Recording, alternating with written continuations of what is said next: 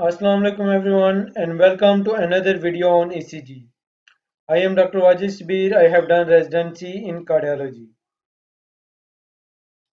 This is the ECG which we are going to discuss today.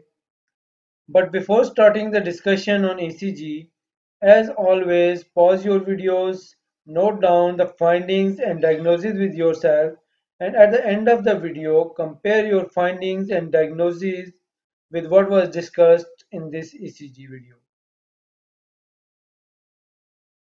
So let's begin the discussion on this ECG. By looking at this ECG strip, we can find a very obvious finding on it. The finding is that you can see that there is tachycardia on this ECG the heart rate is very fast and it is evident by looking at this ECG. If we calculate the heart rate, it is about 300, 150. So heart rate is about 150 beats per minute on this ECG. Whenever you find an ECG with tachycardia, the next thing you should think of is whether it is a regular tachycardia or irregular tachycardia. So again, if we look at the rhythm strip, we can find that the QRS interval is regular. The QRS interval are separated by a regular interval. So we can say that this is a regular tachycardia at 150 beats per minute. The next and very important thing is whether this is a wide complex or narrow complex tachycardia. Wide complex is a QRS interval of more than 120 millisecond or 3 small square while narrow complex is QRS complex that is less than 120 millisecond. So here if we look at the duration of QRS complex, it is definitely less than 3 small square. So this is a narrow complex regular tachycardia at rate of 150 beats per minute. Now the next thing is what is the cause of this narrow complex regular tachycardia?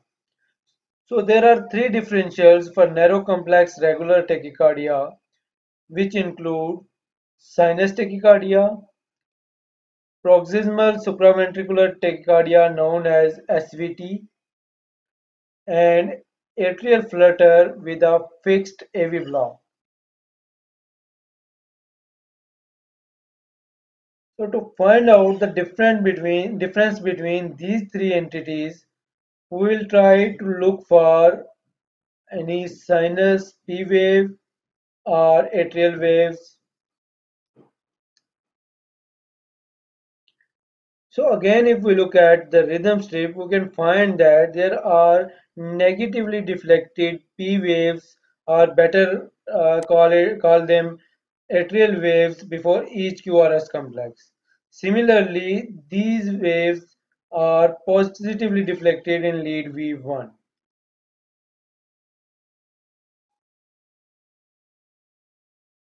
So the presence of these P waves before P waves or atrial waves before QRS complex means that possibly this is a sinus tachycardia but if we look closely we can see a small bump before after each QRS complex. And if we calculate the rate of these P waves, we can see that these P waves are atrial waves, they come at a rate of about 300 beats per minute.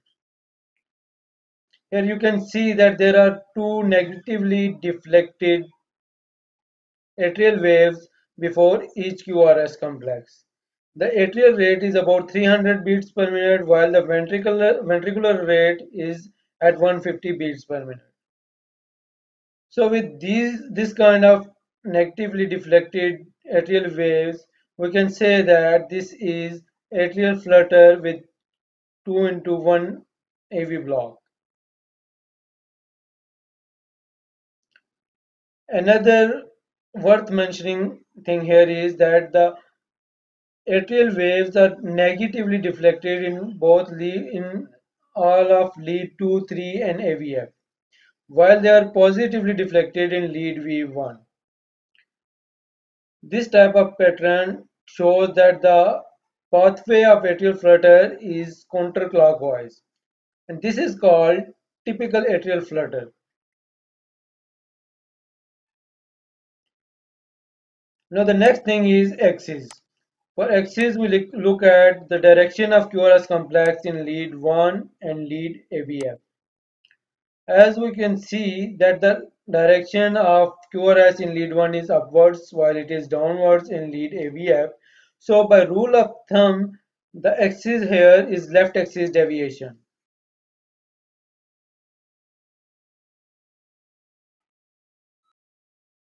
Next, if we look at lead V3, we can find very prominent S waves.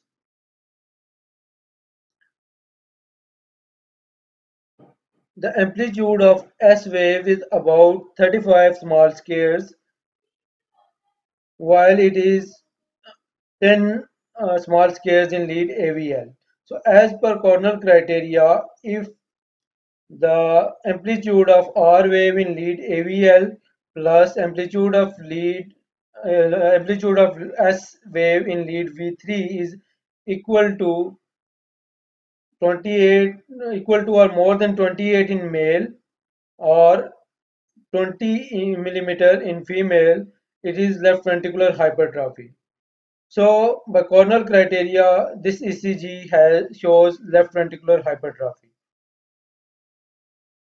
to sum up the findings, there is atrial flutter with 2 into 1 AV block. Also there is left axis deviation with left ventricular hypertrophy. This is all for today. Hopefully you would have liked this video. For more on ECG, kindly subscribe to this channel and stay tuned. Thank you and Allah Hafiz till next time.